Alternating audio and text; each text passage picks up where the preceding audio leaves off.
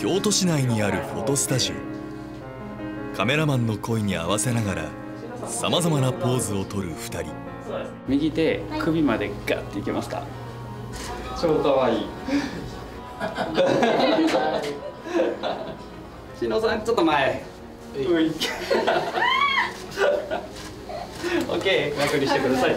実は2023年8月にハワイで結婚式を行った東京にお住まいの2人がわざわざ京都で撮影する。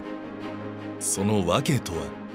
発見したのは京都タグハッシュタグで京都のフォトウェディングっていうので調べたら大体一番上に春ウェディングさんが来るので他の花嫁さんたちのタグ付けされているのを写真をたくさん見て決めました。一口に結婚式といっても最近はさまざまなスタイルの結婚式があるようです。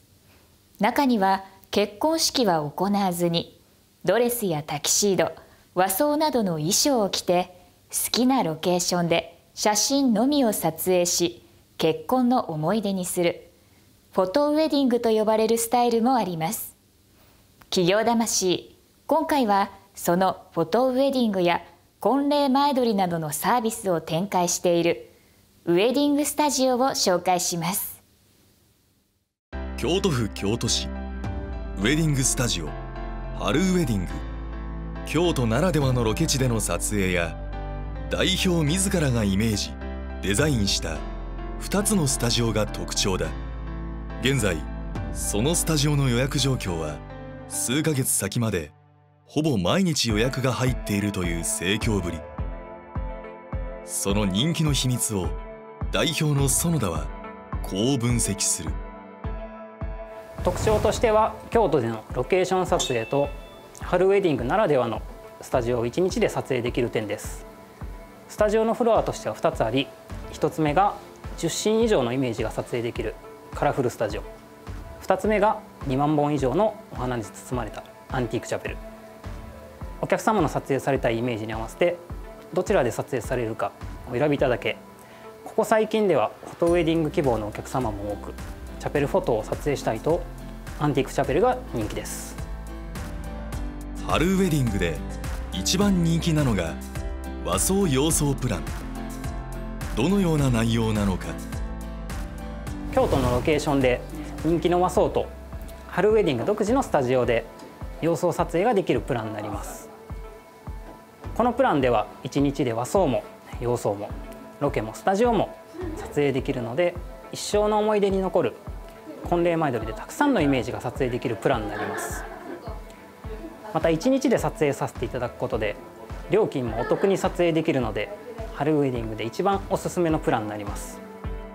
冒頭で紹介した2人も和装ロケと洋装スタジオで撮影。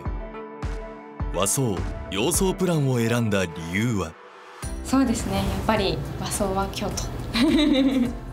ちょっと街並みがやっぱり東京とは違いますし美しいところで撮りたいなと思ってたのとあと祖母に見せたかったのが和服がやっぱり着てると喜ぶかなと思うのでそこが大きいかなと思います。撮影三昧の一日が終わっての感想を聞いた。楽しかったですよ。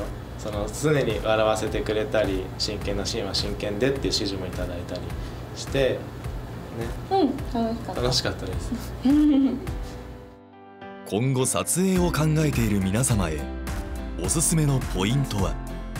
京都で和装は当たり前って思うと思うんですけど洋装をスタジオで撮れるっていうのはすごく大きいかなと思います。しっかりチャペルをお持ちなのでそこで綺麗なお写真を撮らせていただけるっていうのが和装と洋装両方撮れるっていうのは素晴らしいところかなと思います。おすすめのポイントです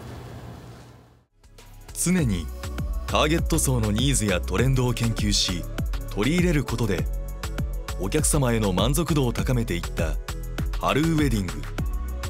2023年7月から新しいスタジオをオープンさせた。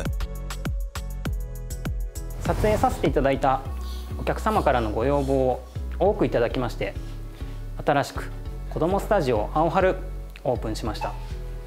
ウェディングで関わったお客様と子どもスタジオの方でもつながって長くお客様の幸せに貢献できる企業になっていきたいと思っております。